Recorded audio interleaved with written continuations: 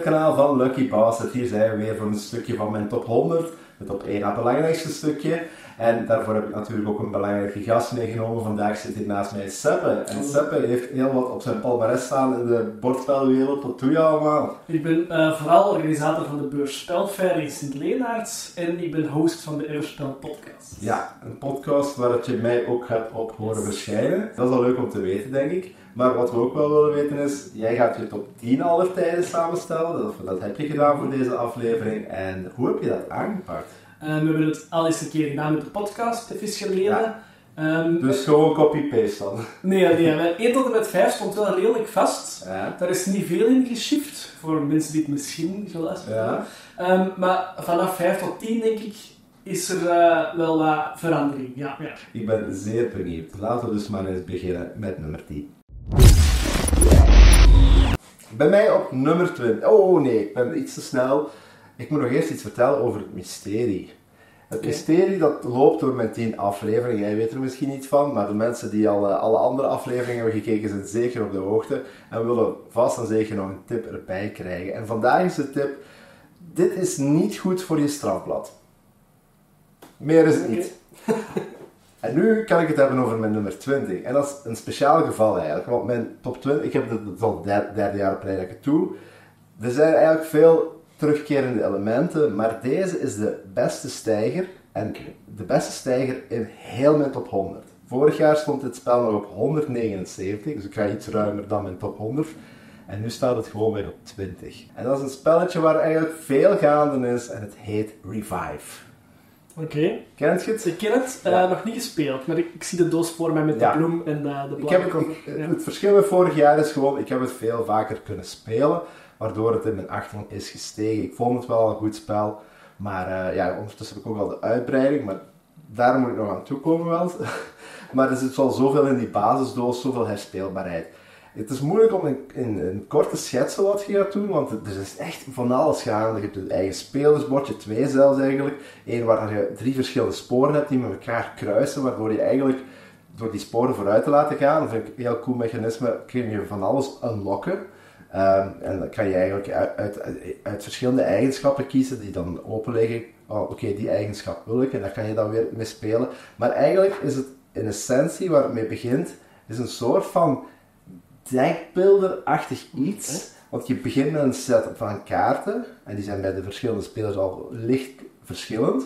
Maar je kan aan de loop van het spel er wel bij halen. Maar wat ik cool vind, is die kaarten die je dan gaat gebruiken. Je echt gewoon onder je bordje schuiven. Je kan die van boven insliden, slots, van onder insliden. En die zijn tweeledig, die kaarten. Je kan dus de bovenste helft of de onderste helft doen. Dat vind ik al heel cool. En met de combo mogelijkheden, want je, hebt er zoveel verschillende dingen die, er, die je daarmee kan doen. Die vind ik geweldig. En dan kan je in de loop van het spel er gaan bijhalen. En er is ook een gigantisch bord in het midden van tafel. Eigenlijk, het is een spel dat heel veel plaats neemt op tafel. Dan ga je eigenlijk ook constant in interactie met andere spelers, want dikwijls gaan zij naar de plaatsen. Je moet huisjes bouwen en zo naar de plaatsen waar jij ook wilt gaan. Om dan grondstoffen te krijgen die je dan kan gebruiken om op de sporen vooruit te gaan. Alles is heel goed met elkaar verbonden. Maar het is overweldigend veel in het begin. Mhm. Maar er zit een natuurlijke logica in, waardoor eigenlijk als je even bezig bent, dat, dat je eigenlijk mee bent met hoe het spel werkt. Dan is het, komt het enkel nog neer op wat betekent dit of dat icoontje. En dat valt eigenlijk best wel mee. Ik heb wel zin om het te spelen. ik weet niet of ik het nu goed verkocht heb, want het is echt, er is zoveel gaande dat ik het mm. moeilijk... Ik, ben, ik heb gewoon een paar dingen belicht nu. Nou ja. Ja, ik zie ook wel de doos voor mij op de achterkant met echt heel veel spullen. Ja, dus, ja. Dus, het, het, ziet er uitdagend uit, maar ik zou zeggen als je een filmpje bekijkt, ik denk dat ik het daar uh, goed heb onder verdeeld, zodat je eigenlijk stap per stap dingen kan bekijken of herbekijken wanneer nodig. En eigenlijk zit er echt wel een, een goede logica in. Wat staat er bij jou op 10 dan? Mijn nummer 10 is Evergreen. En, uh, Een beetje een remake van Photosynthesis. Um, van dezelfde maker ook. Um, Evergreen gaat hij eigenlijk een, een bos gaan bouwen op verschillende plaatsen. Um, en dan gaat hij eigenlijk punten scoren naar gelang waar dat de zon staat, die ook elke ronde eigenlijk doorschuift. En dus bepaalde bomen, grotere bomen, gaan bijvoorbeeld schaduw geven aan kleinere bomen, waardoor die bomen niet meer scoren. Um, en dat, dat, is in principe het spel. Het werkt ook met draften, dus je gaat kaarten kiezen op welk stuk van het bord dat je die gaat mogen plaatsen. Um, en dan is er nog wat extra, je kunt water plaatsen, waardoor bomen extra gaan groeien. Maar het basisprincipe is echt, je gaat gewoon zien waar komt die schaduw en hoe ga je welke bomen waar plaatsen voor zoveel mogelijk punten te halen. Ja. En je hebt fotosynthese dan ook gespeeld. Ja, waarom vind je deze beter dan? Um, in fotosynthese is ten eerste, iedereen speelt op één hetzelfde ja, bord. competitie voor de... Ja, voor de, um, En wij hadden zoiets van, vanaf als je het midden geraakt, kunnen daar eigenlijk een boom blijven zetten en niemand geraakt er dan aan. Um, wat een beetje een... Wacht, hè? Even, even dubbelchecken gewoon. Ja, hè? Ja, okay. Zolang je die boom niet omhaakt. Klopt. Ah, Zolang als je die boom, boom niet omhaakt, heeft iedereen schaduw. En, ja. Maar dat, is, dat lijkt een heel goede tactiek. Maar uiteindelijk, als je die boom daar heel spel moet laten staan, eigenlijk is je verzamelt pas punten als je ze ommaakt. Ja, tuurlijk, tuurlijk. Maar dus, voor, dus vooral voor de rest, ja. de dingen, we hebben wel, wel gezien dat dat wel een ding is dat veel mensen doen. En ook al blijft die boom daar een halve spel staan, is dat gewoon niet zo leuk voor de rest. En dat vonden we een beetje, ja, een fout misschien niet, maar dat vonden we een beetje een rare krankel erin. Ik weet niet of die positie zo sterk is hoor. dat, dat, ik snap dat je er naar neigt de eerste keer en dat, is ook wel iets voor, voor, om voor te vechten. Maar net zoals dat je langs alle kanten andere uh, schaduw geeft, kun je ook langs alle kanten schaduw ontvangen. Ja, ja, ja. Dus eigenlijk, ja, ja, oké. Maar goed, we, hebben het eigenlijk over een ander spel, hè. Laten we daarop focussen. Maar in elk geval, het, het, het competitieve van één bord haalt Evergreen een beetje weg door iedereen eigen borden te geven. En dan kun je misschien zeggen, je bent een beetje veel op jezelf aan het spelen. Ehm, maar dat maakt gewoon het spel zelf leuker en het puzzelen maakt dat net iets, ja, gewoon beter te begrijpen en, en kunnen meer mee doen dan eigenlijk. Mensen kunnen u niet in de weg zitten, nee, enkel met het draften misschien. Heb je ook de uitbreiding gespeeld dan? Uh, we hebben hem wel, maar nog niet gespeeld. Hetzelfde verhaal als bij mij. Oké. Oké, voilà. Dat was de eerste. Kop is eraf, op naar de volgende. Op 19 staat bij mij een spelletje dat slechts drie plaatsen in daalt ten opzichte van vorig jaar. Een spelletje dat gebaseerd is op dobbelstenen die we gaan moeten veranderen. Dus we gaan de zijdes echt ervan afplukken en andere in de plaats brengen. Welke denk je dat het gaat zijn? Dice Forge. Het is Dice Realms. Oké. Dus ja, Dice Forge is ook een leuk spel, maar deze vind ik eigenlijk om een of andere mysterieuze reden nog, nog net iets beter. Het, het, speelt nog net iets soepeler, zou ik zeggen. Het ziet er alleen een beetje lelijk uit. Vooral, die, ja, die icoontjes zijn functioneel, maar het, het ziet er niet uit. De doos is prachtig daarentegen. Dit spelletje is eigenlijk de Dominion met dobbelstenen. Oké. Ja? Want ieder spel ga je eigenlijk vijf tegeltjes uit een grote zak trekken met 30, 40 tegeltjes, ik weet niet van buiten.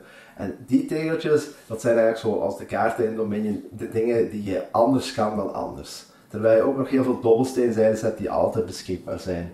Maar die, dat komt dan meer overeen met het geld of zo van, van Dominion of met de punten, puntenkaarten. Ja, en dan moet je gaan kijken van welke combinaties kan ik hier vormen, want het is eigenlijk, het komt daar vooral neer in een soort van motortje opbouwen, waardoor je dobbels, je dobbelstenen gaan sowieso beter worden in de loop van het spel. Dus dat is altijd, je hebt altijd het gevoel van, ik bouw iets uit, maar wat een beetje onverwacht is, is soms, uh, je hebt eigenlijk drie manieren dat het spel kan eindigen. Ofwel, de punten zijn opgeraakt, hè, dus een beperkte hoeveelheid punten. En als die opgeraakt, kun je nog wat punten bijnemen uit de, uit de rest van, van de doos, maar uh, dan uh, ja, triggert het einde van het spel.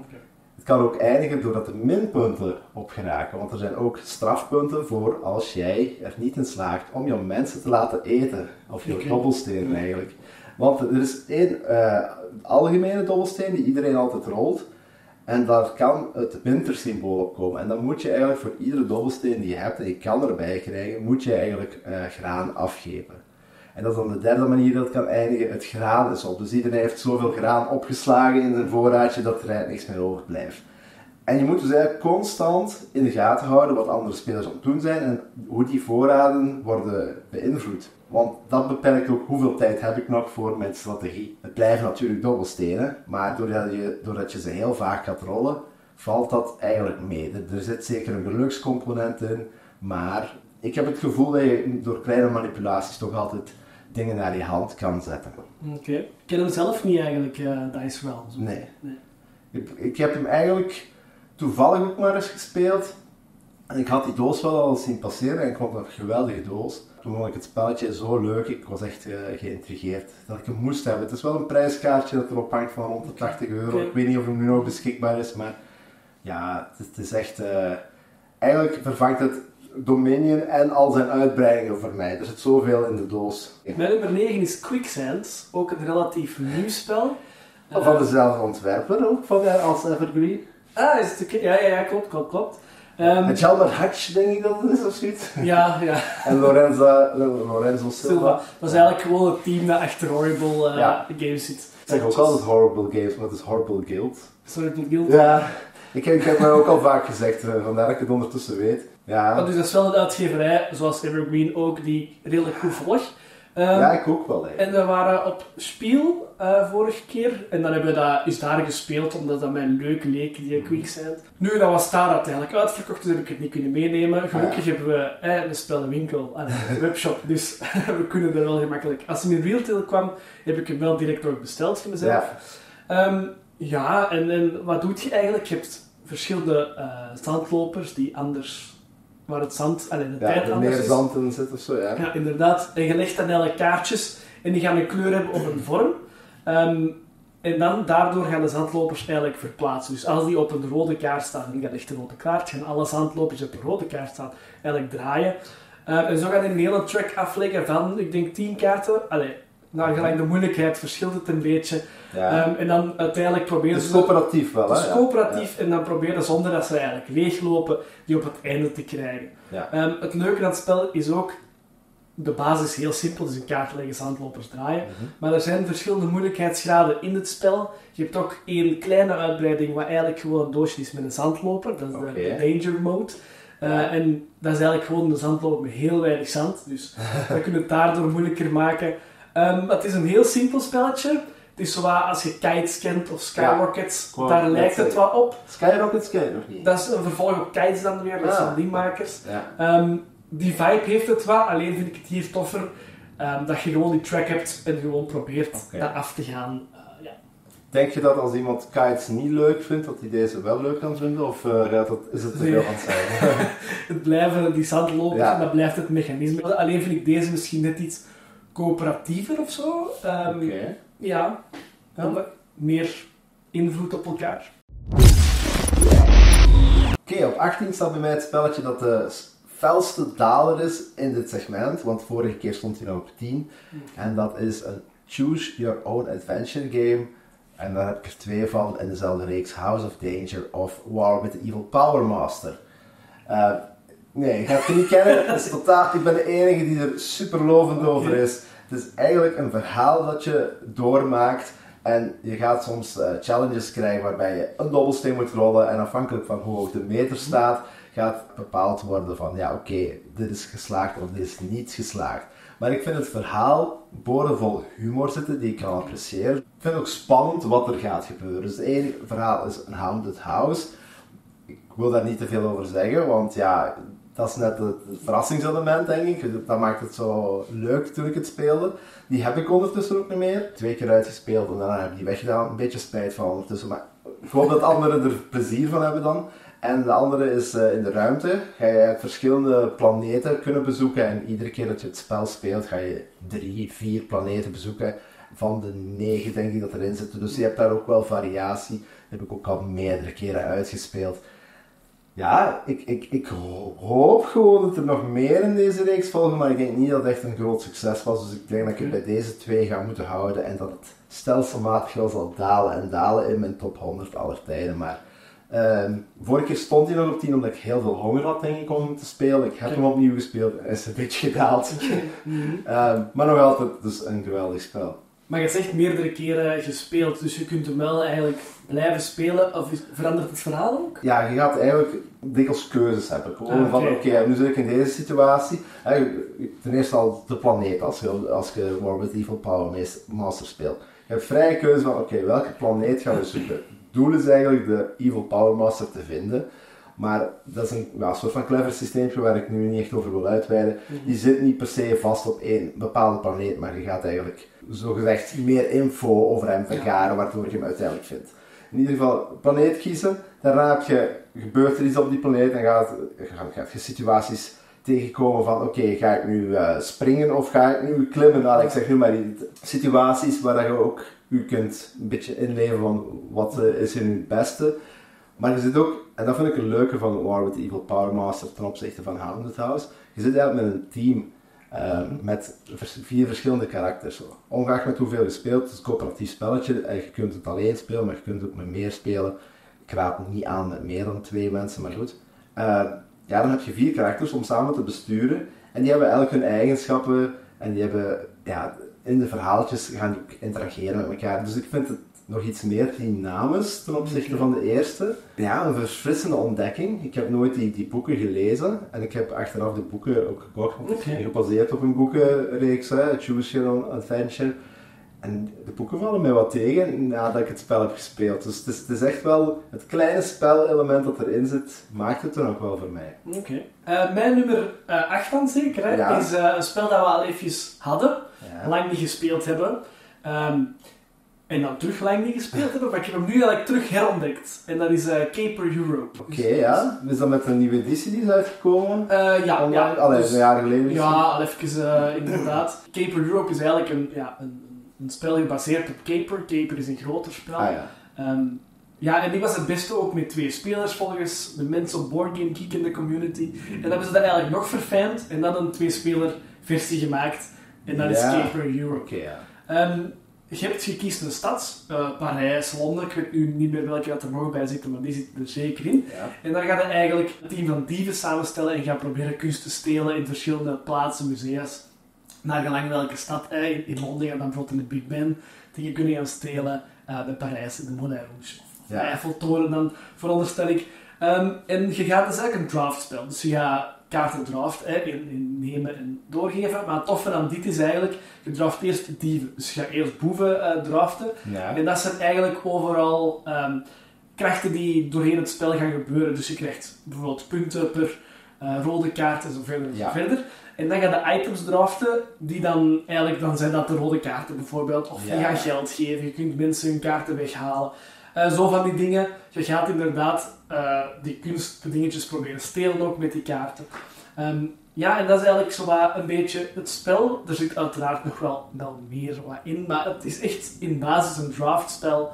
En het twee, twee delen dan, ze zijn echt strikt van elkaar gescheiden, die, die dieven en die items die je Ja, ja, ja, dus het is echt, ja, die items gaan er bij dieven liggen en die gaan dan um, naar gelang welke dieven dat je hebt, bijvoorbeeld krachten triggeren of ah, endgame bonussen triggeren. En ook een leuk ding aan het spel is, stel het geld is op, dan mogen bij andere spelers gaan uh, halen. Dus er is ook een ding van, ga ik nu een kei dure kaart gaan leggen, dan ben ik kei wel geld kwijt. Ja. Maar ja, als ik dat niet doe, dan gaat dat geld misschien naar een andere speler.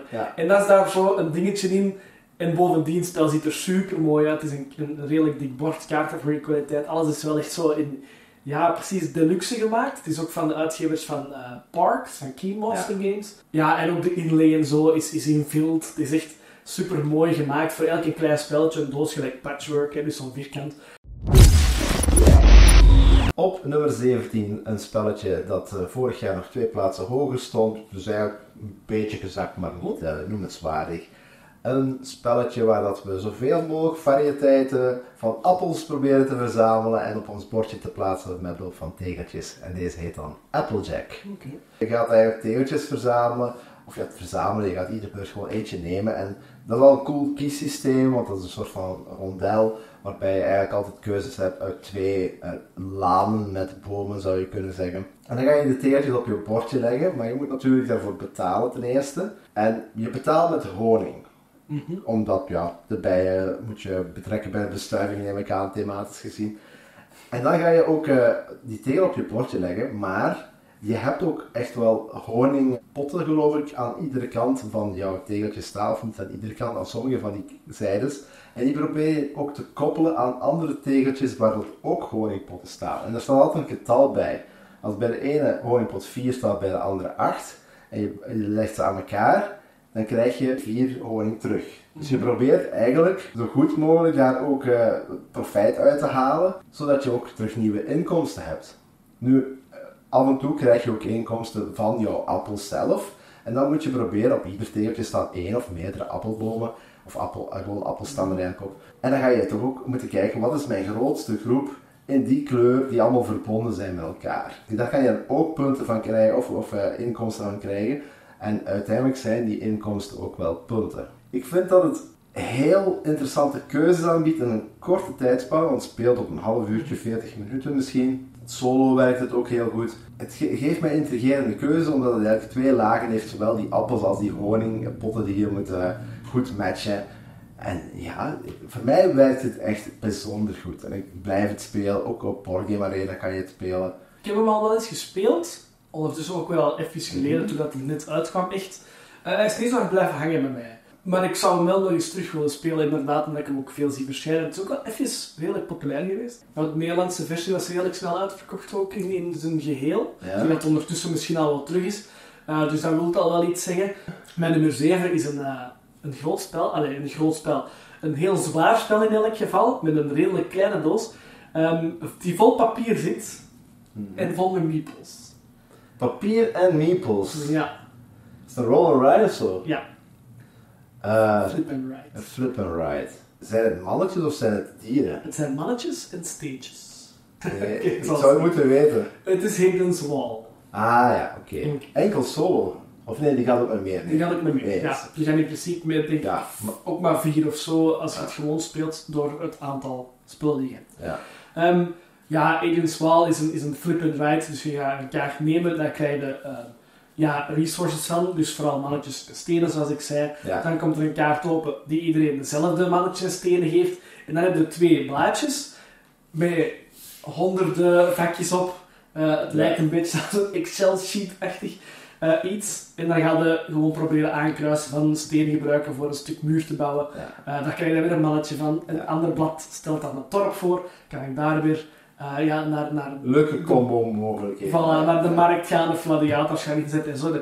Heel, heel, heel veel keuzes. Wat ik zo tof vind aan deze spel, het is een zwaardere rollerheid. Mm Al bij al, als je iemand hebt die hem wel kent, kun je hem ook wel, denk ik, redelijk goed uitleggen aan verschillende mensen. Nu, er zijn heel veel keuzes, dus je kunt ook zeggen, weet als je dat niet snapt, laat het even voor wat is, want je kunt ook zeker niet op alles gaan spelen. Ehm, maar gewoon het, het systeem... Je kunt stukje per stukje bijna uitleggen. Ja, het is daar inderdaad. En ook op gaan spelen. Je kunt elk spel een andere tactiek verzinnen. Je hebt natuurlijk wel je, je muur en je hedens. uiteraard, waar dat, dat belangrijk is. Maar dan het dorp bestaat echt uit verschillende, verschillende mogelijkheden en puntenscore systeempjes. Nu gewoon het feit van, ik ga een mannetje pakken en ik ga iets kruisen en ik krijg daar een nieuw mannetje voor terug dat voelt altijd, ook al speel slecht, voelt altijd dat je goed bezig bent. Ja. En dat vind ik daar gewoon zo leuk aan. Oké. Ik heb het ene keer uh, op Borgem Arena opnieuw uh, getest. En ik wist niet goed wat ik aan het doen was, maar ja. het is ook gewoon grappig van iedereen doet zijn eigen ding. Dat is het wel, daar kun je een minpunt van maken als je dat niet tof vindt van weinig, zelfs geen interactie bijna.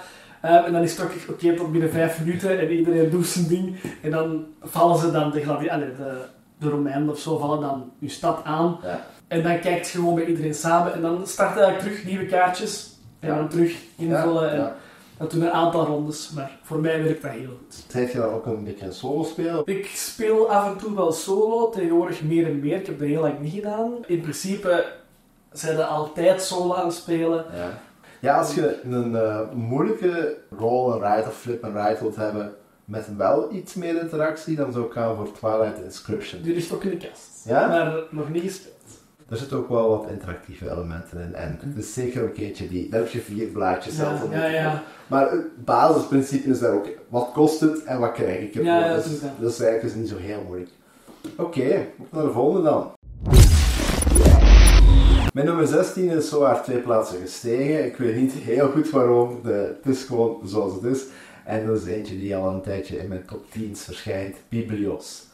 Dit is eigenlijk een spelletje dat bestaat uit twee gescheiden delen, maar het is een kaartspel waarbij ook wel dobbelstenen erin zitten die je eigenlijk niet gaat rollen. Die ga je eigenlijk gewoon gebruiken om op een bordje te leggen. Het zijn vijf verschillende kleuren dobbelsteen en het zijn ook vijf verschillende kleuren kaarten, al ik heb nog een paar extraatjes. Maar uh, dus je, wat je eigenlijk probeert te doen, is uh, van die kleuren, dobbelstenen of kaarten, de meerderheid hebben op het einde van het spel. Dus als je op het einde de meeste punten van oranje kaarten hebt, dan krijg je de waarde van de oranje dobbelsteen. En er zijn dus ook andere soorten kaarten om die dobbelsteen te manipuleren. We maken daar een 4 van, we maken daar een, 2 van. Het begint op 3 normaal gesproken. Maar het eerste deel van het spel is dus eigenlijk gewoon kaarten verzamelen met een leuk uh, systeem. Ik vind dat persoonlijk wel leuk. Je trekt, als, je actief speler bent, je trekt evenveel kaarten als het aantal spelers, plus eentje reserve. Eén voor één, en dan beslis je op het moment dat je het trekt, wat ga ik ermee doen? Die is goed, die wil ik voor mezelf houden. Ah, de volgende is ook goed. Ja, moet ik die ofwel aan, eh, moet ik aan een tegenstander geven, ofwel in de pot gooien. En de pot dan is deel 2, die wordt dan geveild. En dan moet je op dat moment veel geldkaarten hebben om het hoogste pot te kunnen doen. Twee elementen die heel goed werken, maar je moet een beetje, ja, de eerste keer dat je speelt moet je een beetje kunnen inschatten wat is de waarde van dingen, want, en, en hoe gaat het eindigen. Je moet het eigenlijk een tweede keer spelen om er echt meer feeling mee te krijgen, zal ik zeggen. Maar ik vind het een heel leuk spelletje nog altijd. Om, ook om, om met twee te spelen, het gaat wel weer meer. En is ook nog altijd heel leuk met meer. Maar ik vond het echt een goed tweespelerspel. Ja, dat, dat is het ook wel. Um, het is lang geleden dat ik hem gespeeld heb. We hebben wel nog niet zo lang geleden Lang Leven de Koning gespeeld. Wat een, een nieuwe versie is ja, van, van mijn Goblin. Ik denk dat het eigenlijk hetzelfde spel is, alleen met... Het ziet er nog lelijk. ja, het ziet er... Ja, voor, ja, naar families gericht. Nu echt zo... Ja, getekend. En, misschien niet heel mooi getekend. Terwijl dat gewoon in ons was zo... Ja, schilderijachtig niet echt, maar wel realistisch. Ja, het thema was gewoon een beetje saai. Maar dan hebben ze er iets van gemaakt dat in mijn ogen niet per se bovenuit steekt. Nee, nee, klopt. Wat staat er bij u op 6 dan? Mijn nummer 6 is een spel, basically een paardenrace, die je uh, op, weet dat al? Ja, ja. dat is uh, Ready Set Bet. Ik was even aan het twijfelen, was de titel weer Ready Set Go of Ready, Set, Bet, ja. Iemand rolt met dobbelstenen, die gaat paarden verzetten en dan gaat de rest gewoon zonder dat er een, een beurtvolgorde is, eigenlijk gewoon op een groot bord met geld in principe, muntjes smijten van... Dat ik denk dat die zo Ja, zoiets achter. Het is wel in cardboard, ah, ja, uh, maar ja. dat, dat, dat, dat, idee is het eigenlijk wel.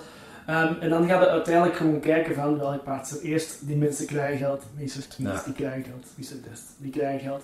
Um, maar het toffe is eigenlijk, op elke plaats is er maar plaats voor één chatonneke. Dus als je dat daarop legt, is dat weg. En oké, per paard zijn er wel drie voor eerst ja. dan twee zijn er ook weer drie. Maar dat is ook een spel dat je met veel kunt spelen. Dus dan ga je ook wel echt... En ga je het liggen, want je gokt dan van... Die paarden zijn nog ver weg, maar hij staat nu eerst. Of we hebben langer wachten. Maar dan zijn misschien die plaatsen weg. Ja. En gewoon die keuze, zonder dat er een beurtvolgorde is, een beetje real... Ja, het is eigenlijk een real-time spel.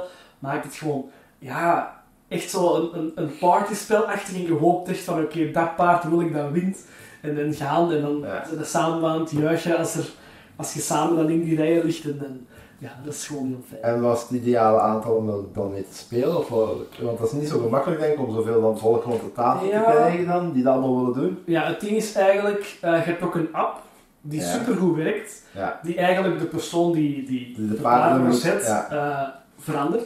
Uh, die gebruik je in principe altijd, okay. omdat dat gewoon beter werkt als iemand die gewoon zegt, ja. een paar drie jaar twee stapjes doen en een paar één jaar. En dat geeft een extra persoon. Ja, uh, en, en, dat geeft de achtergrondgeluid van, van ah. mensen die juichen en weet ik veel allemaal. Uh, dus dat is tof, maar dan kan inderdaad een persoon meer mee doen. En ik denk vanaf drie kun je het in principe spelen. Er zijn modules bij die je er kunt ingooien, uh, maar dat zou ik dan laten voor als je meer als vier speelt of zo. Okay. Extra kaarten, je krijgt meer tonnetjes, extra plaatsen om te leggen. Um, dus dat zit er ook wel in. Maar eigenlijk vanaf drie kan dat eigenlijk al. En gewoon het, het leuke van ja. gewoon die, die, op die paarden gokken. Het is, het is een sfeerspel. Het is echt een spel puur voor de sfeer, maar het werkt wel supergoed. Op nummer 15 staat een spelletje dat twee jaar geleden nog in mijn top 10 stond, een klein beetje gedaald. En dat is It's a Wonderful World. Dit is een drafting kaartspel Waarbij je eigenlijk gewoon, ja, je, haalt, je hebt je hand aan kaarten, je kiest er eentje en je geeft de rest door. Maar dan wat je met die kaarten gaat doen als je ze eenmaal verzameld hebt, dat is ook interessant. Sommige kaarten kun je gewoon afgeven, of zul je ook moeten afgeven voor de blokjes die erop staan. Andere kaarten ga je willen bouwen en dan is ook een kost in verschillende kleuren blokjes aan verbonden. En dan probeer je op die manier iedere keer je gebouw klaar te stomen op tijd vooraleer dat de productiefase in gang treedt. Want dan ga je eigenlijk doorheen een soort van transportband waarbij de kleuren één voor één worden overlopen. En dat begint met de grijze blokjes. Oké, iedere kaart die af is, die grijs produceert, ah, die gaat nu grijs produceren. Kan je daarmee andere kaarten afmaken, dan kan je die ook meteen bij de afhoop leggen. En dan kunnen we die misschien al meteen blokjes produceren voor de volgende beurt, als we de zwarte blokjes gaan laten produceren. En zo ga je doorheen die hele transportband, iedere keer een andere kleur. Dat is dan één ronde. En dan begin je gewoon de volgende ronde opnieuw. En het zijn maar vier rondjes, waardoor je het gevoel hebt van oei, na de eerste ronde heb je misschien één kaart afgekregen en zijn er nog drie, vier in progress. Dan heb je zo het gevoel, ik ga niks afkrijgen. Maar het stapelt echt wel mooi op. Zorgt er wel voor dat je eigenlijk op het einde toch nog zo in ronde 4. Oké, dan moet ik echt tellen hoeveel blokjes. Het kon gewoon geen ronde langer duren, want dan was je eigenlijk eh, een, een half uur aan het tellen met hoeveel blokjes krijg je. Een heel goed spel. En het zou hier misschien niet staan op deze positie als ik geen uitbreiding ervan had, want ik vind dat de uitbreiding het nog een pak beter maakt, waardoor je eigenlijk nog echt mega projecten hebt die je, ja, je neemt meer risico, maar als die afgeraken zijn dat super veel punten. Ook kaarten die negatieve productie opleveren. Waardoor je toch een beetje moet gaan kijken, is dat wel waard? Ik krijg twee blokjes van één kleur bij, maar één blokje gaat er vanaf van een andere productie. Ja, het is, het is wel leuk hè. Nu, het thema laat mij daar een beetje koud in, denk ik. Ja, het thema is, is niet uh, heel sterk, maar ik vind het wel soepeler nog uh, dan een Seven Wonders bijvoorbeeld. Ja, klopt. Dus mijn nummer 5 ja. is uh, een race-spel. Weer al? Ja, maar niet met paarden, met raceautootjes. Ah, um, ik heb een idee. het is niet zo heel moeilijk, uh, zeg maar al. Heat? Heat, ja. pedal to the metal. In principe, raceauto's is niet zo mijn thema ook weer niet, zal ik zeggen. Ja. Maar ik vind dat deze super leuk speelt. Je gaat kaarten hebben, maar het spel zit hem vooral in van, je hebt bijvoorbeeld bochten waar dat je um, niet te hard over mocht gaan rijden, want dan ga je heat nemen. En heat zijn eigenlijk gewoon slechte kaarten die je eigenlijk in het dek steekt, een beetje dekbeeldergewijs. Uh, die je eigenlijk voor niks kunt gebruiken, die gewoon kaarten zijn die, die nutteloos zijn in principe. Um, maar door heat te pakken kun je ook sneller gaan rijden. En je kunt die ook wel weghalen, maar dan moet je minder snel gaan rijden. De schakeling, zal ik zeggen, moet dan lager staan. En zo ga je eigenlijk gewoon een race doen, twee rondjes, snelste in principe. En je gaat de heat proberen beheren in het geval van dat je sneller wilt, dat je meer heat pakt, ja. dat je bochten pakt, dat je ook wel heat gaat moeten pakken. Maar vanaf als al je heat op is, ja, dan blijf je eigenlijk gewoon staan waar je stond. En dan, ja, dat is niet goed, hè?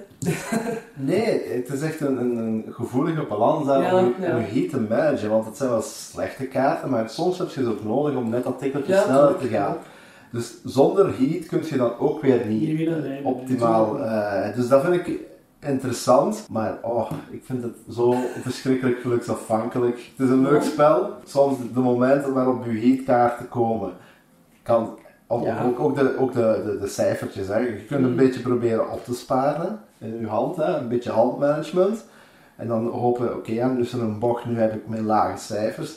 Maar ik heb al zo vaak voorgehad, of iemand heeft voorgehad, dit is het beste wat ik kan doen. Ik ga nog uit de bocht vliegen, of als je niet uit de bocht vliegt, ga toch nog altijd hopeloos achter geraken. Eh, ik vind dat het best wel meevalt. Zo, je ziet inderdaad met geluk van de kaarten, maar ik zeg het is wel gelijk een dekbeelder van je hebt wat je hebt. En je kunt inderdaad wel een beetje gaan kijken van oké, die kaart ga ik bijhouden, die heb ik al gespeeld. Eh, die komen er nog aan. Hoeveel hit heb ik nog? Ga ik hier terugleggen voordat ik kans heb op beter, allee, meer kaarten in principe.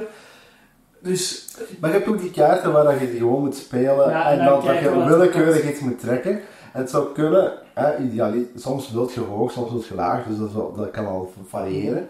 Maar het kan ook zijn dat je dan je heat trekt en dat die passeert. Ja. En dat die op je aflegstapel komt, terwijl je die eigenlijk soms op handen wilt krijgen om ze te verwijderen. Of Ja. te gebruiken. Of andersom niet dat je meer plaats hebt in je hand. Dus ik denk, in alles zit een beetje een balans en je Ja. krijgt wat dat je hebt. En dat probeer je gewoon zo goed mogelijk uit te... Ik heb soms het gevoel dat die balans tipt en dat je er eigenlijk niet veel aan had kunnen verhinderen. En dat het niet altijd dus je eigen schuld is. Ik heb nog niet het gevoel dat ik echt al een keuze heb moeten maken. Of, of dat er iets gebeurt dat ik denk van, ah, tju, dat was niet puur geluk. Dat heb ik nu Ja. niet.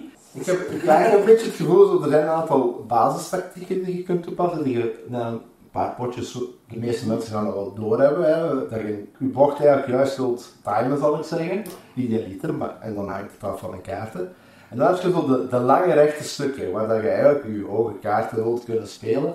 En soms, eh, ik heb dat bijvoorbeeld voor gehad van, oké, okay, je hebt één parcours wat echt een heel lang stuk is. En dan, oké, we hebben allebei onze, beste, onze hoogste kaarten gespeeld. Maar de andere speler moest dan zijn deck hersuffelen en trok toevallig terug hoge kaarten. En ik moest gewoon met de lagere kaarten verder gaan. en dat maakte dan het verschil tussen winst en verlies. Het zit, het zit hem soms in die details. Als je tactisch gezien even goed bent, dan hangt het heel sterk af van, van ja, maar goed. Is dat het einde van de wereld? Nee, maar dat is de reden waardoor, waardoor er een ander racespel in het team zit dan niet. Ja. Maar ja, het is dat niet, ja, dat is niet voor vandaag. Op 14 staat mijn hoogste spel, denk ik, dat ik niet heb. Oké. En nooit heb gehad, laten we dat er ook bij zeggen. En zelfs nog zes plaatsen gestegen ten opzichte van vorig jaar. Dus Food Chain Magnet. Een spel waar dat je eigenlijk een ja, uh, fastfoodketen gaat proberen te runnen. En je doet dat op twee manieren. Je hebt enerzijds de kaart, waar dat jij echt fysiek gaat zien, dit is mijn fastfoodketen. Hier zijn de huizen. Ik probeer mij strategisch te plaatsen, zodat ik, uh, ja, de mensen naar mij gemakkelijk kunnen komen. Dat ik gemakkelijk kan leveren, dat soort dingen. Anderzijds heb je eigenlijk je bedrijfsstructuur. Dat werkt met kaartjes. Je begint eigenlijk met alleen jezelf als CEO. En je hebt de mogelijkheid om één personeellid aan te werven. Dat is het enige wat je kan doen, maar dan kun je vanaf daaruit gaan diversifiëren. Dus je kunt kiezen uit een heel palet aan uh, medewerkers, wie wil ik hebben. In het begin is dat dikwijls van, je gaat iemand inhuren die ook iemand kan inhuren, want zo kun je natuurlijk snel, uh, zoals een sneeuwbal, uh, nieuwe mensen gaan aannemen. Maar je moet mensen ook trainen voordat dat ze hun job beter gaan doen. Dus je wilt ook een trainer hebben. En op dat moment heb je nog altijd geen eten aan het maken. Dus je wilt natuurlijk ook een kok hebben en je wilt iemand die drank levert. En je wilt iemand die reclame maakt. Want als, je geen reclame creëert, dan gaat er ook niemand je producten willen kopen. En daar hebben we weer een ander leuk aspect. Je kunt meeteren op iemand anders zijn succes. Want iemand anders kan reclame maken voor burgers. En jij kunt zeggen, wel, ik verkoop mijn burgers en ik profiteer mee van die reclame, maar ik ga onder uw prijs. Dus je kunt ook iemand uh, daarvoor inhuren voor uw prijs drukken. Zoveel mogelijkheden, zoveel interactie, negatieve interactie. Maar wat ik niet van hou normaal gesproken als het echt puur, ik wil u, ik wil u dood, dat vind ik niet leuk. Maar dit is echt van, ik wil mijn kop boven het water kunnen houden, dus ik ga mijn prijs moeten verlagen om u te boycotten. Het is echt survival of the fittest in, ja, eh, bedrijf, in de bedrijfswereld, in dit geval fastfoodketen. Ik heb deze niet, maar die gaat wel aan mijn collectie toegevoegd worden, want ik heb uh, de Kickstarter Game Fund editie heb ik wel uh, ondersteund, want ja, kon toch niet ontbreken als die hier met op Twitter staat, vind ik. Want het is een heel lang spel en het kan heel pijnlijk zijn, want je kan snel uit de boot liggen, omdat je ja, gewoon een paar verkeerde keuzes hebt gemaakt. Ja, het staat wel op mijn lijstje om nog te spelen. Uiteraard heb ik hem al gezien. Ja. Ken ik het systeem. Uh, dus daarmee wil ik het wel graag spelen. Maar in principe is het misschien denk ik niet helemaal mijn spel. Omdat zo, het is ja, een Eurogame, zullen we zeggen. Mhm. Een zwaar spel dat lang duurt. Het ziet er ook niet super mooi uit, eerlijk nee. gezegd. Zelfs de nieuwe editie vind ik ook, maar dat is dan mijn uh, mening. Um, ik hoop gewoon eigenlijk op meer uh, functionaliteit ook. En gewoon dat de mensen niet weglopen als je de doos of het bord laat zien. Uh, ja. Maar daarmee heb ik hem zelf ook niet, maar ik wil hem wel iedere dag een keer spelen, te zien wat dat is. Want het is een spel dat veel genoemd wordt. En ik ben gewoon heel benieuwd. Ik denk, you love it or you hate it. Maar, maar ik was nou mijn eerste keer nog niet per se verkocht. Ik had ons wel gewonnen. Het was wel maar een twee, twee dus niks spectaculairs zou ik zeggen. Het, het, het, heeft me geïntrigeerd. Het heeft ergens is het blijven hangen en alle koestering om het opnieuw en opnieuw te proberen. Uh, er is al een website waar dat je het uh, ja, uh, turn-based kan spelen. En ja, ik, ik, ik vind het fascinerend. Ik vind het echt fascinerend. En ik zou het graag dan, als het eenmaal in fysieke vorm terug binnenkomt, zou ik echt een beetje een vast groepje waar we dat vaker mee kunnen spelen. Want het is echt wel beter als iedereen het kent, zodat je niet iemand, oei sorry, ik moet een beetje voorzichtig zijn, want het is de eerste keer dat je het speelt. Hè. Mhm. Je wilt niet dat de spelers een gigantisch slechte smaak in de mond eraan overhouden. Maar dat is eigenlijk, als je de enige bent die het echt hebt gespeeld, dan is dat bijna onvermijdelijk dat je, je hun gaat crushen. Mm Want zo is het wel. Oké, okay, mijn nummer 4 uh, is uh, Last Bastion. Het is ah, een, uh, een, een, remake, zal ik het nu doen, van Ghost Stories. Ja. Um, een ouder spel waar je in principe is het een castle defense game, dus je hebt een dorp met muren rond. En, en eigenlijk monsters je uh, stad binnenkomen en je coöperatief die eigenlijk proberen buiten te houden totdat er de baas komt. En als hij niet verslaagt, dan, dan is het spel gewonnen. Ja. Um, nu, de stad bestaat uit negen tegeltjes die allemaal een eigen kracht hebben. En de monsters gaan eigenlijk allemaal aan de muren liggen, dus de rond.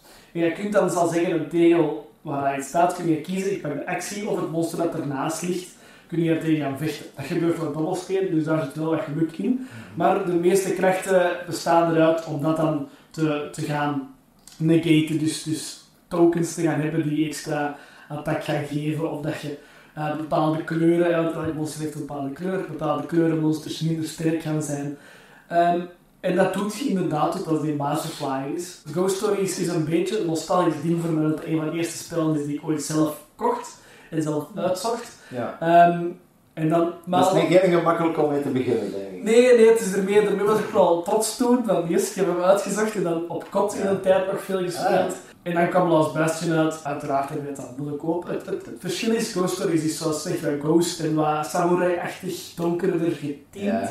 Terwijl Last Bastion is gewoon een puur fantasiespel met ridders. En de monsters zijn gewoon dat draken en goblins en whatever. Maar het spel zelf is iets ja, gefine-tuned. Ja, dat wil ik vragen inderdaad. Want ik vond Ghost Stories heb ik wel gespeeld. Het duurde heel lang. Het bleven maar monsters komen. Mm. als het niet lang duurde, was het omdat je dood ging. Dus heel, heel snel. en ja, ik neem aan dat er daar ook wel wat dingen gefine-tuned gaan zijn. Ja, het is, het is het verschil zit inderdaad in, in het fine-tuning. Bijvoorbeeld bepaalde acties zijn beter uitgevoerd. iedereen heeft een token en dan kun je er één keer als je die hebt. In principe één keer in het spel, maar je kunt dat nog gaan terugkrijgen een actie gaan doen waar je bijvoorbeeld niet op staat, als je daar niet geraakt of zo. Ehm, dus zo van die dingetjes hebben het wel beter gemaakt. Iedereen heeft een eigen kracht en ook gewoon je hebt meer keuze uit karakters. Er ligt een, een, ja, een muurtje rond in principe dat je, fischjes, uh, je, je tegeltjes bijeen houdt. Ah, ja. Bij Ghost Stories is dat niet, dat is gewoon een klein ding, maar het zit erbij, dus dat is leuk. Uh, de mannetjes zijn allemaal minis die je in een kleur kunt klikken inderdaad.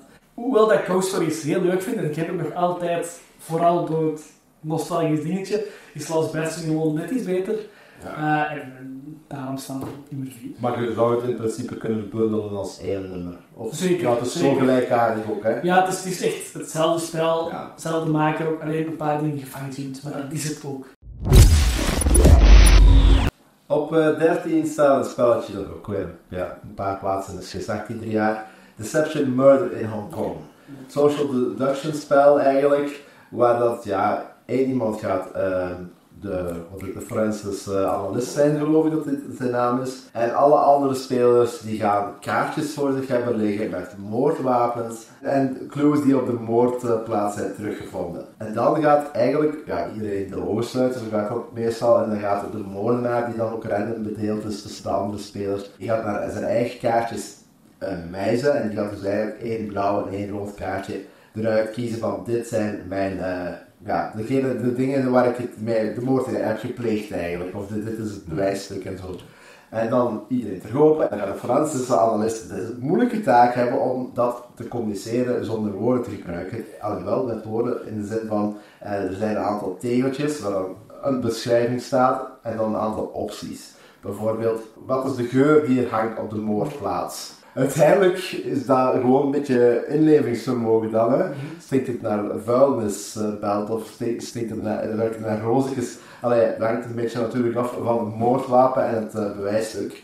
En op basis van gewoon pionnetjes neerzetten voor, op al die tegeltjes, geeft hij eigenlijk de boodschap, probeert hij de boodschap weer te geven. En dan wordt er natuurlijk duchtig geconverseerd, gediscussieerd aan tafel van die items die jij hebt liggen, dat zou het wel kunnen zijn. Waarom ik deze beter vind dan al die andere social deduction spellen, is omdat het niet zo persoonlijk aanvoelt. Ja. Dus dikwijls van, ah ja, oké, uw items, daar, daar zie ik wel iets in. En dan moet jij zeggen van, ja, ik snap het wel, maar... Hè? Dus het is niet zo van, jij bent de moordenaar. Ja. Dus het voelt net iets minder persoonlijk aanvallend aan. Maar afhankelijk van de groepsgrootte heb je eventueel een accomplice die je wel een beetje gaat helpen. Het leuke is dat iedereen ook maar één keer een gok mag wagen. Dus iedereen heeft één uh, sheriff badge om in te zetten. En dan zeg je, oké, ik denk dat die combinatie is. En ze moeten beide juist zijn, want anders is het gewoon niet. En dan weet je nog altijd niet, is het die persoon of moeten we bij iemand anders zoeken. En dat vind ik heel goed gedaan. Want dan heb je je poging opgebruikt, maar je zit nog altijd in het spel om anderen te te winnen. Ja, nee, het is echt een heel leuk spel ook. Wij spelen ook al vaker. Um, vooral het ding dat je inderdaad niet aangevallen wordt door andere spelers, of toch niet keihard, ik zal het dan zo zeggen, mm is wel een, beter ding tegenover Game of Resistance ja. van En je kunt er niet uitleggen, dat is natuurlijk ook, ook, een meerwaarde. En ook die badges is super tof, dan is het zo, I take one for the team. Ja, dat is uh, met nummer 13. En bij u dan? Met nummer 3 is Flashpoint, Fire Rescue. Ook een coöperatief ja. spel, ik had ook een zeer thematisch spel, ja. dat ook in mijn straatje wel ligt. Um, je hebt een huis en dat staat in brand. En je gaat als brandweer proberen mensen te redden. Uh, vanaf zoveel mensen, ik denk zeven, dan win je het spel. Als je er zeven gered hebt, heb je er vier laten vermist worden, slash doodgaan. Uh, verlies het spel. Je hebt ook blokjes die eigenlijk kapotte muren voorstellen. Dan zijn die allemaal op. Verlies ook het spel, het huis in. Ja. Ja, het is echt gewoon een coöperatief spel van oké, ik doe wat acties. Uh, ik hoop dan inderdaad mannetjes te gaan gaan buiten halen naar de ziekenwagen. De ziekenwagen die nog moet rondbewegen, een brandweerwagen waar je extra kunt mee water spuiten op het huis. Iedereen heeft zijn eigen kracht. Uh, bijvoorbeeld inderdaad iemand die op de brandweerwagen kan rijden, die dan voor minder acties kan doen. Een dokter die dan voor minder actiepunten mannetjes kan healen, waar de rest dan makkelijker mee weg kan. Ja. En zo van die dingetjes maken dat gewoon een heel leuk coöperatief spel. Ook redelijk gemakkelijk. Het is wat in de pandemic vibe vind ik. Je kunt het wel moeilijker maken. Hè, ja, er zijn ook verschillende borden ondertussen. Ja. Er komt binnenkort een Legacy aan, die ik sowieso... Serieus? Ja, dat is het eerste ja. van hoor. Ja, het is, het is, een paar maanden geleden aangekondigd. Die ga ik sowieso back als er ook extra borden bij. Je kunt gewoon bij Flashpoint gebruiken. Maar dat is gewoon... Flashpoint is ook weer een spel. Ik heb dat ook al wel redelijk lang. Ook een van mijn eerste spellen een beetje. Ja. Ik weet gewoon, als we dat op tafel zetten, of we nu gemakkelijk doen of niet, het gaat leuk zijn. Speelt je liever met uh, vier dan, of met twee is het ook al goed? Maakt niet uit. Het kan tot 6. Dat vind ik ah, misschien een beetje veel. En je hebt ook wel een uitbreiding. 20 events, denk ik. Ik weet niet of dat heel goed beschikbaar is of niet meer. Maar dat zijn eigenlijk een kaarten die geven het event. Dus in plaats van dat je elke ronde dobbelt voor vuur in principe naar je beurt, ga je een kaart nemen en dan gaat zeggen van er is geen vuur, er komt twee keer vuur. Uh, Er zit een speciale, ik zal zeggen, een, een tweeling ergens gevangen, dus dan zijn twee mannetjes die openkomen. En zo gewoon elke keer andere dingen. Dan spelen we nu standaard bij. Uh, ja, het voelt echt als een je in een brandhuis bent, als een brandweerman. En ik geef flespoint top. Op 12 staat een spelletje dat ook wel weer redelijk stabiel is gebleven en het heet Spirium. Ik weet niet of... Nee, oké. Okay. Het is wel een spelletje dat al een beetje ouder is. Er is ook wel weer van alles gaande, maar het, draait er eigenlijk om dat je een soort van eigen engine gaat moeten bouwen met de kaarten die je verkrijgt. Waarbij je eigenlijk eerst enerzijds Spirium gaat moeten verkrijgen.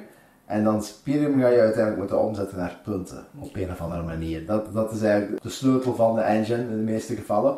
Maar er zijn best wel veel alternatieve routes ook. Maar de kern van dit spel die ik zo leuk vind, is dat er ieder ronde eigenlijk een raster van 9 kaarten op tafel ligt. Drie, drie raster. En dan heb je je meepeltjes. In de loop van het spel kan je erbij verkrijgen, meer mannetjes. En die ga je eigenlijk tussen twee kaarten inzetten, beurtelings. Daarmee wil je eigenlijk aangeven, ik ben geïnteresseerd in één van beide kaarten.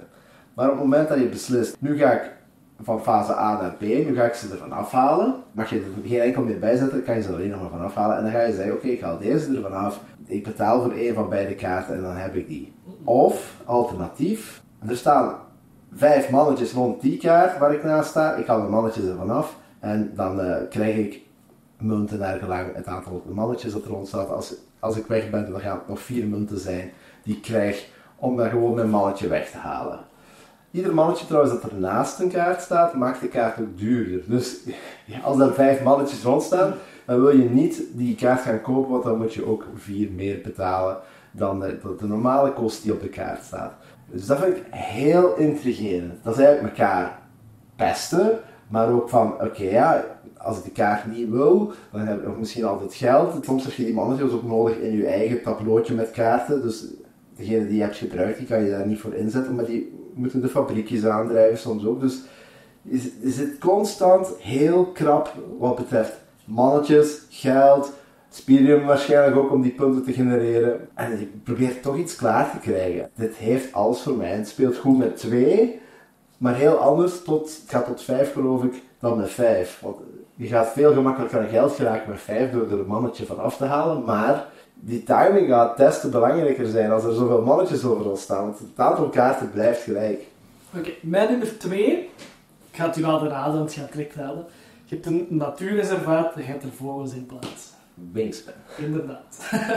Wingspan, je kunt het als een hype bezien van een aantal jaar geleden, maar ik vind het gewoon ja, een, een steengoed spel. Je gaat vogels ja, plaatsen in een natuurreservaat, die gaan bepaalde acties triggeren, waardoor dat je een beetje een, een mottertje opbouwt, een engine.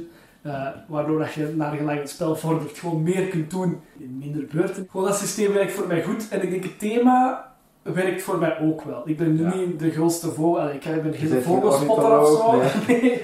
um, maar het ziet er mooi uit. En dat, dat helpt gewoon een beetje met het, met het leuker te maken. Um, ik heb er ook veel zelf op de Switch gespeeld. Goede app ook, die anderzijds ook wel weer 20 euro kost, ik veel meer voor dan. Terwijl ik het spel ook heb, uh, wat in principe ook solo te spelen is. Maar het werkt supergoed. Ja. Um, dan speel je tegen andere mensen. Dus dan, als je solo speelt, is, is het niet helemaal dat. Dus dan vind ik dat wel, wel fijn. Maar daar speel ik hem dan ook veel alleen op. Ja. Uh, waardoor dat ik hem ook constant blijf spelen. En ja. of die nu op tafel komt, ik wil altijd wel meedoen. Altijd. Oké, okay, ja, maar ja, we zouden spelen. Hè?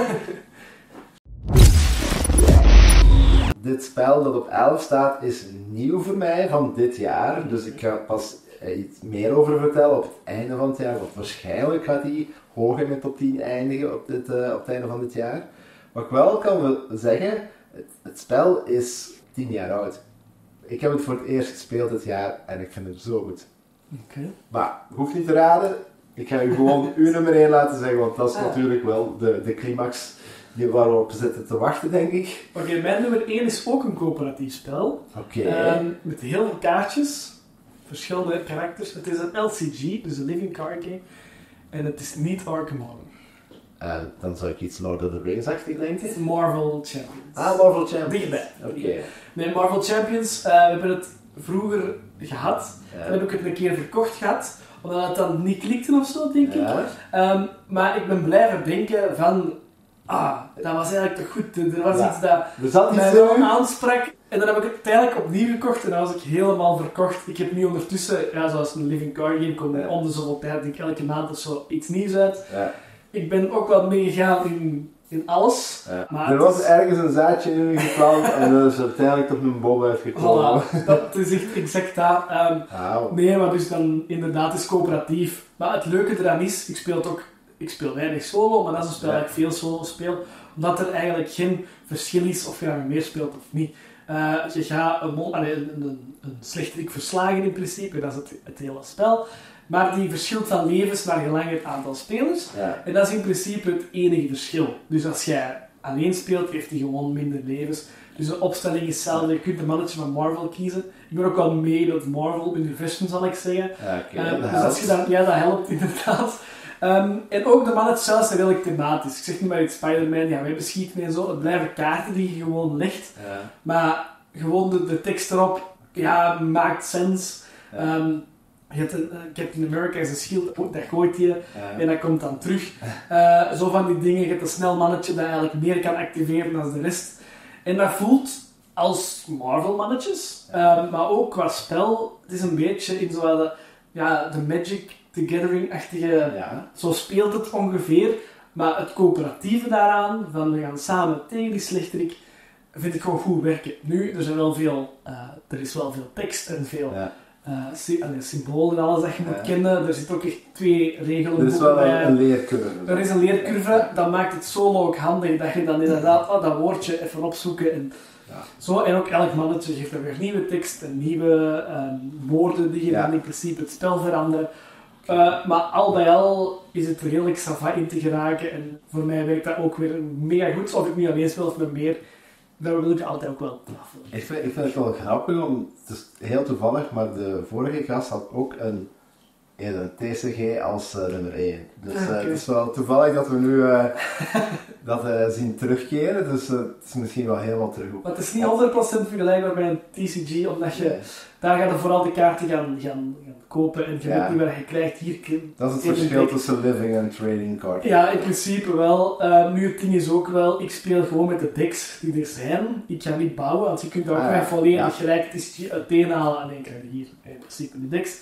Okay. Uh, ik hou ze wel samen. Ja, dat is wel een, leuke nummer 1, want daar kun je heel diep in dat gat kun je heel diep mhm. vallen, zou ik zeggen. Ja, ik, ik ben ook wel eens benieuwd of er nog veel DCG's, LCG's worden gespeeld door de kijkers. Dus laat zeker weten wat, met wat jullie daarmee bezig zijn. Of jullie dat ook met, in dit geval helemaal gaan uit elkaar halen en zelf bouwen. Of, of gewoon, oké, het is handig als het gewoon klaar ligt en ik kan beginnen. Daarmee kunnen we de video ook afsluiten.